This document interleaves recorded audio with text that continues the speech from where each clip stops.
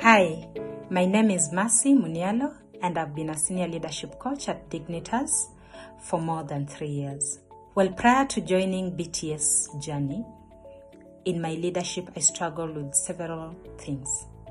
When I joined the BTS coaching journey, I came to learn several important uh, sessions that have really changed the way I view my leadership. One particular session stood out for me, and that was the session around the six mind traps.